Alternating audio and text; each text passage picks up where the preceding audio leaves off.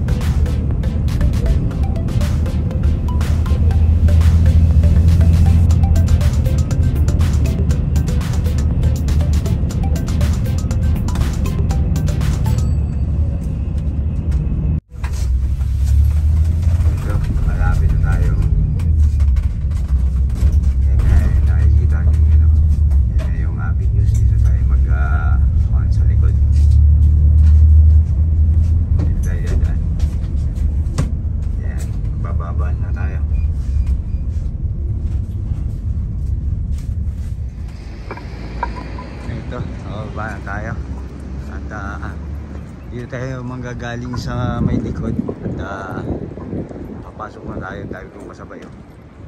lahat yan empleyado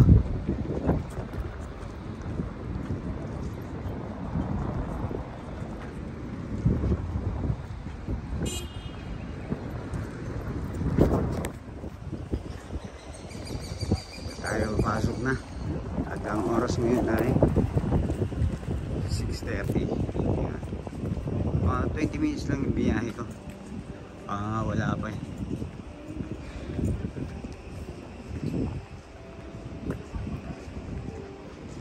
Yan, eto yung mall entrance.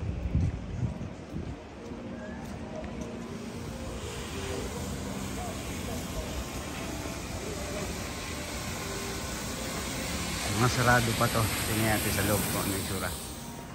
Yan, dito na tayo sa loob. Yan, kita niyo mga sarado pa yan. Yan. Magbubukas tong mall na to alas 10 ng umaga. Kaya, pero kami, kaya ganito kaaga, ah, sabi ko nga kanina, ah, meron kami mga online orders. Kaya, maaga kaming pumapasok. Pero hanggang alas 4 lang ako ng hapon. Natin ang loob ng ah, avenues kapag sarado pa. Ito, ito yung ah, tanda ko itong cheesecake na to.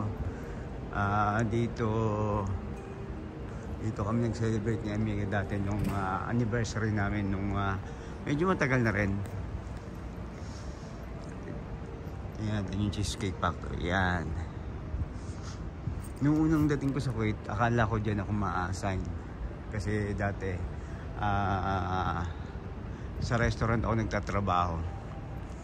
Na, akala ko dyan ako ma-assign pero sa isang restaurant pala, ah, sister ah, pares na ng kumpanya yan. Yan, dito na tayo sa loob. At ah, yan yun, yung Cheesecake Factory. Oh. Ganda, di ba? Yun. Ito, dito tayo sa loob ng avenues at mga sarado pa yung mga mga store dito. Ang gagawin natin, iikutin natin tong ah, avenues kung ano yung itsura ng ah, avenues kapag sarado pa. Ayan. Ito yung Starbucks. Ayan. Sarado pa rin yan. Ito yung mga ito yung Texas.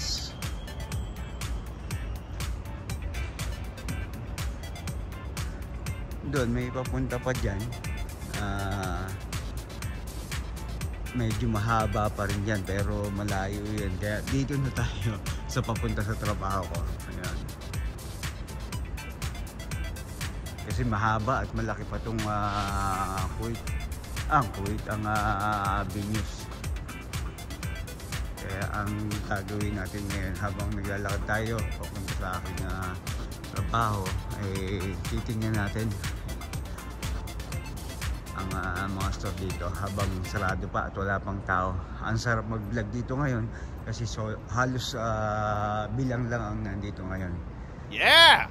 Kalimitan ng nandito ngayon uh, siguro uh, yung mga empleyado talaga. Hindi siguro.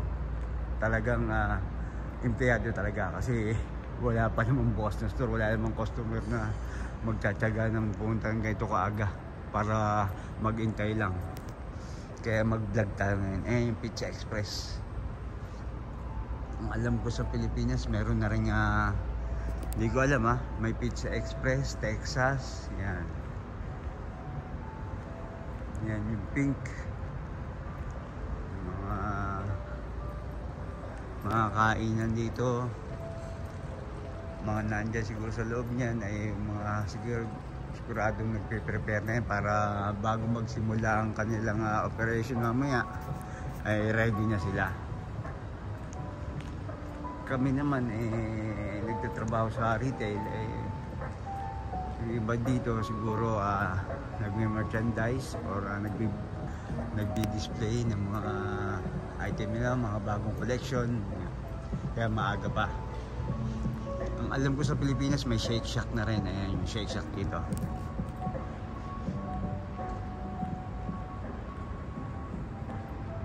Tara, ikot-ikot tayo. Habang solo natin ang avenues. Ito, H&M. Sa Pilipinas may H&M na rin ang hindi ko alam itong Harvey Nichols kung meron. O yung Harvey Nichols gold na gold.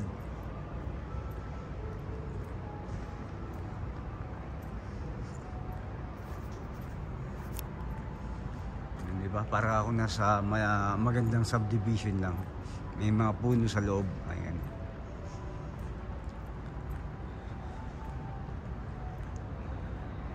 yan Si Amiga, dati pumunta dyan, nag, dyan siya nagpa-makeup. Anniversary namin yun, dyan siya nagpa-makeup. Sa Charlotte Tilbury. Yan, tama ba ang pagkakabigas ko? Yan, dyan siya nagpa-makeup nun. Nung anniversary namin, talaga nagpaganda si Amiga nun. Starbucks. Yan, ito yung Adidas.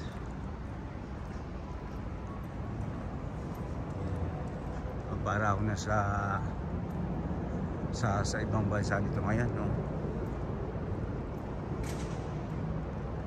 Jack Wheels yan, parang maliit na konsye o na bahay di ba?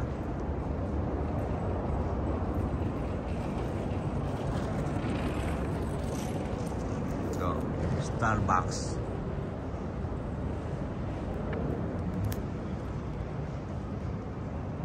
Yun. Ba, meron na rin pala dito ang iba sigurong mga nagwo-walking walking kasi pwedeng pumasok ng customer eh. Yung ibang ginagawa kasi dito, hindi ko na lang kinunan. Ah, dito na sila nagwo-walking sa loob, di ba? Yung ah, mga ibang ah, lokal dito. Pumapasok na dito para mag-walking, ngayon ko lang nakita. Ayan, Vision Express. Mark Jacobs. Ayan. Para lang akong nasa nasa ah, maliit na city nito eh. Kita niyo parang nasa kanto lang ako. Akape dyan, no? di ba? Mahilig magsigarilyo, pwedeng tumambay dyan. Pero hindi pwede magsigarilyo dito sa mall. Merong ah, designated area para pwede kayo mag-yosin.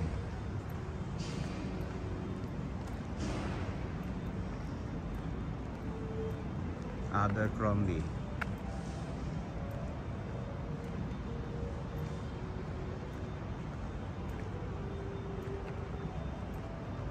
Malalawak pa to. Kita niyo, papunta pa to dun. Kung iikutin natin to, medyo oh, may papunta pa dun. Siguro sa susunod natin iikutin yung papunta dun. Dito muna tayo sa isang diretsyon to.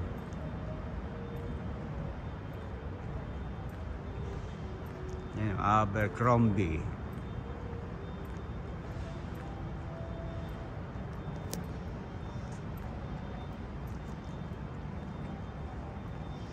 Ito, pinkberry. Ang alam ko, may pinkberry sa Pilipinas nun. Tanda ko, kan eh.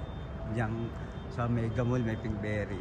Ah, nagkuhan kami diyan parang ah, kumain kami ni Amiga diyan kasama yung mga pamangkin niya. Ito, polo. Diba? Ang ganda mag-vlog. Ang ganda ngayon mag kasi walang ah, tao. Yung iba dito, ayan, katulad ng isang yun. Hindi ko na kinuna yung iba eh. Nagwo-walking dito na siya. Nagwo-walking yung mga lokal. Yan o. Yan. Ang ganda pala dito pagka walang tao. Sana ganito ang ah, subdivision na na ano, sa Pilipinas may ganitong subdivision, mayroong uh, mga ganitong uh, dadaanan, yan. May mga ganito bahay mo ganito, tapos may kapihan ka dito, di ba? Ganda sana, tapos meron kang ganyan makikita mga poste. Para ka talaga nasa ibang bansa. Pagka nasa Pilipinas ka, kung ganito may invento nilang uh, subdivision, di ba? Yun, may malaki dong H&M, yun o. Zoom natin, ayan o, H&M zoom natin. Yun. Bali siguro da, parang dalawang H&M dito eh. Sobrang laki nito. Yung ibang store dito minsan dalawa, tatlo, apat mga, kasi merong phase 1, phase 2, phase 3, phase 4 hanggang phase 4 to. Sa sobrang laki ng mall na to. Ayun o, oh. boss! Kahit pa paano pag nagsuot ka yan maging boss ka man lang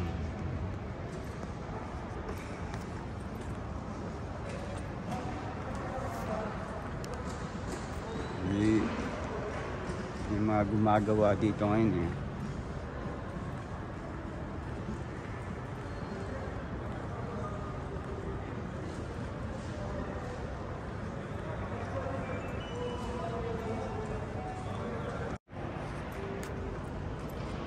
tuloy lang tayo. Itong ginawa kong to, isang diretso lang to ah, ng mall. Marami pang may kaliw sa kaliwa nito. Yan, sa kaliwa niyan meron pang ganito rin kahaba at dito sa kanan. Ang tawagan niya The Arcades, meron din dyan. Pero ang mga nandiyan, mga luxury brand. Pagka meron tayong time, ikutin natin talaga itong uh, ganito kalaking ng, ng, uh, ng Kuwait. Yan, mga luxury brand yan eh. Yung papasok, yung papasok doon, mga luxury brand yan. Kaya kukun, kahit bukas to, kukunti ang tao na doon. Bibihira lang makikita nyo kasi nga talagang pagpunta kayo doon eh mga mahalin na yung mga brand na nandun at saka wala kayong makikita halos Pilipino doon.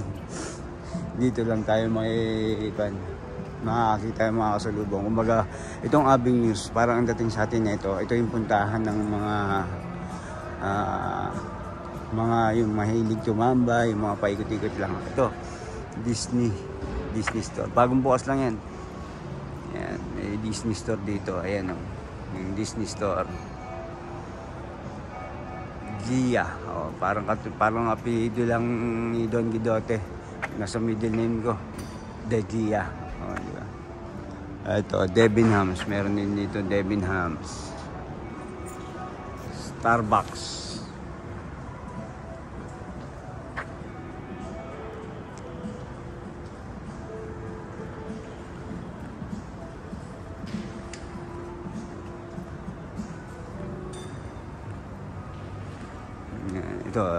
Starbucks. Diretso lang tayo ng lakad natin. Ito na ang pinakadulo nito. Sa ito nandito tayo sa phase 4 ito ang dulo dito kakaliwa na tayo. At uh, yung banda ron sa pinag uh, simulan ko yun yung phase 2 phase 1 na andun. Kaya sobrang laki na ito daan tayo dito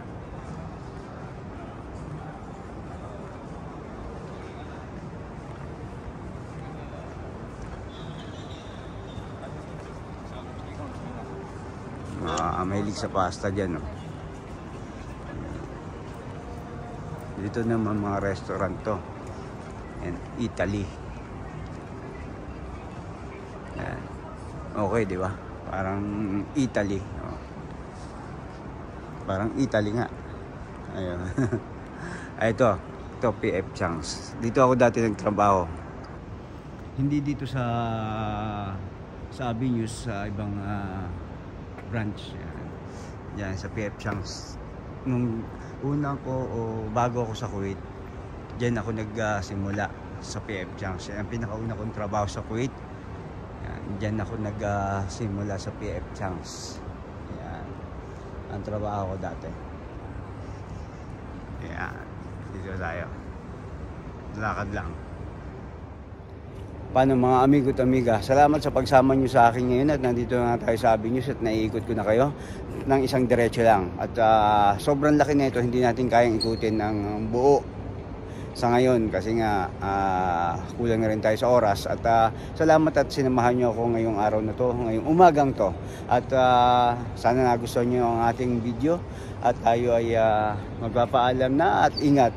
At uh, sana lagi kayong sumubaybay sa amin ni Amiga. Please subscribe, like, share and comment. Don't Get Dotted Channel. Ingat po at respeto sa bawat isa